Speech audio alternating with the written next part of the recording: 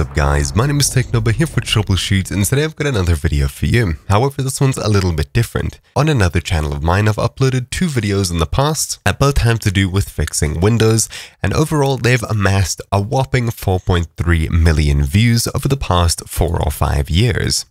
However, since 3 years have passed since my previous one, it's time to make an update. Since then, I've moved all of my tech supporty stuff over to this channel. So without further ado, you and I both know why you're here. So this is a general fix for Windows when it can't start up. In my experience, it's fixed the Windows loading screen staying there forever, infinite restarts, and a black screen after the Windows loading screen. However, if you're having a different startup problem, this is likely to fix it as well. If you get lost anywhere during this video, you can pause it and turn on closed captions. So what we need to do first is get to the Windows Startup Repair screen. There's a few ways of doing this. When starting up your computer, keep pressing the F11 button every second or so, starting right after you hit the power button until you see the Windows 10 Advanced Startup options. If you can't get that to work, after two or three failed restarts, you'll get put on the screen automatically. So if worst comes to worst, you can pull the power cable. If you're on a laptop, you can remove the battery and then the power cable. And if you can't remove the battery, you can hold the power button for a few seconds until the screen goes black. Either way, you should now see a screen in front of you that says preparing automatic repair, and if you do, great. If you see a screen saying that your PC did not start correctly, simply hit Advanced Options.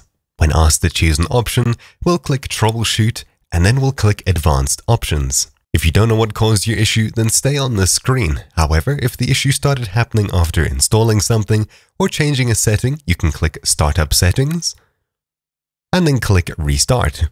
Once it restarts, you'll see a screen with a list of options. You can press number 4, which is enable safe mode. If you need access to the internet, you can try number 5, though if the issue is bad enough, it might not boot using option 5, so stick to option 4. In this mode, you should be able to access Windows and undo whatever caused the issue.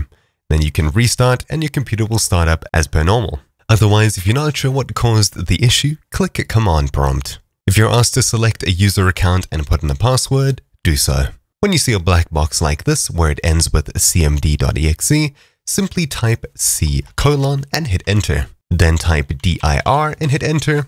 And because Windows can sometimes label drives differently here, C drive might not be the same place as Windows as it usually is. If you don't see the Program Files folder or the Windows folder, then you're probably not on the correct disk. In this case, type in disk part, one word, and hit enter.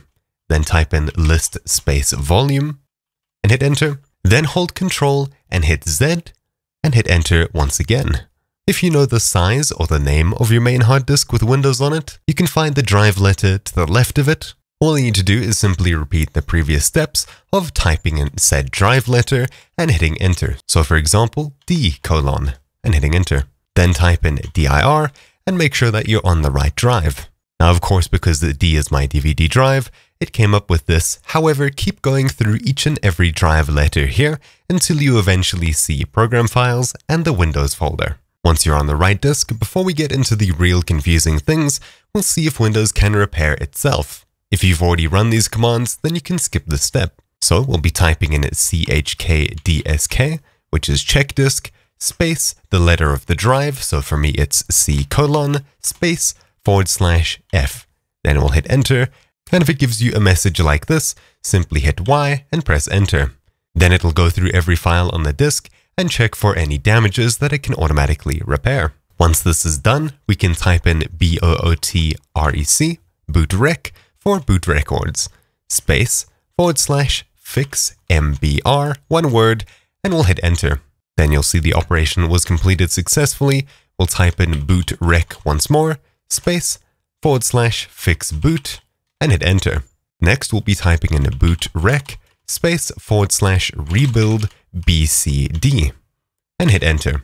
Once that's done, we'll see a message that looks like this, and then we'll type in bcdboot, one word, space the letter of the drive, so for me it's C, colon, backslash windows, space forward slash S, space, and then the drive letter again, so C, colon, and then we'll hit enter. And then you can see boot files successfully created. From this point, we'll type in exit and hit enter. When we get back to the screen over here, we'll choose turn off your PC and then we'll go ahead and press the power button to turn it back on. So hopefully you're able to get past where you're stuck and you'll see your familiar login screen where you can put in your details and continue with your day. Assuming you're still having issues, we'll restart the computer again, pressing F11 every few seconds right after pressing the power button yet again. And of course, if that doesn't work, you can press the power button a couple of times, see this screen, and click Advanced Options. Now we should all be back on this page over here. So we'll return to the Troubleshoot screen, Advanced Options, and back to command prompt. So here's where things get a little bit confusing, so pause the video if necessary, and closed captions are enabled. From here, we'll type in the drive letter again, in my case it's C, colon, and we'll hit enter, and we'll type in dir once again, and make sure that the program files folder and the Windows folders are present. After we're sure we're in the right place, we'll type in cd space backslash windows backslash system 32, one word, backslash config, and we'll hit enter. Now we're going to make a backup of the settings here before we do anything else. So to do that, we'll type in md space backup and hit enter to make a backup folder. If you've done this step before, then put a 1 or something unique right after it without a space. Then we'll type in copy space star dot star space the name of the folder we just made, which in my case is backup.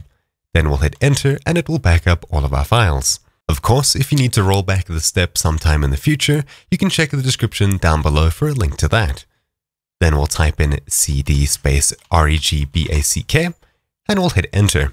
Then we'll type in dir once again and hit enter. Now you should see a list of files much like this, however this is what it's telling me. Yours will look something more like this. If any of the numbers here are zero, then the odds of this working are low, but you're still welcome to try it. So we'll type in copy space star dot star space dot dot and we'll hit enter. Of course, because this folder is empty, it said that it cannot find the file specified. When you see a message asking you about overwriting, simply type A and hit enter. Once it's complete, we'll type in exit and hit enter. Once again, we'll click the turn off your PC button and we'll go ahead and start it up. Now, of course, booting up Windows this time or the previous times may take longer than usual. However, give it some time and avoid turning off the power if possible. Once it's done, you should be presented with this logon screen once again, and you can continue with your day as usual. So of course, if this video helped you, make sure to bookmark it in case you ever need it again in the future. Leave a like and comment down below with your thoughts. Thank you all for watching. My name's been Technobo here for TroubleChute, and I'll see you all next time. Ciao.